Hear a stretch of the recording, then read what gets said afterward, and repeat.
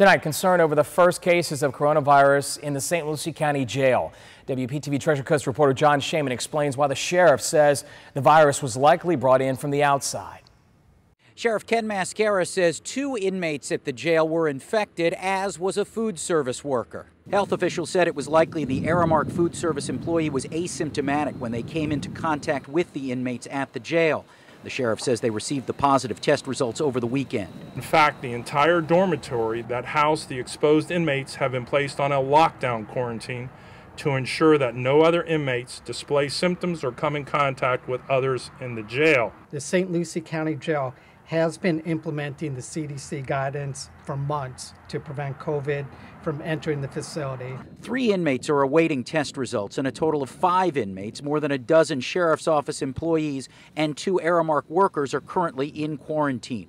No one has been hospitalized.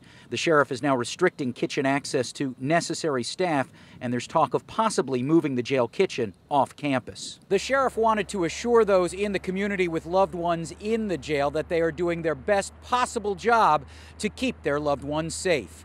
In St. Lucie County, Jon Shainman, WPTV, News Channel 5.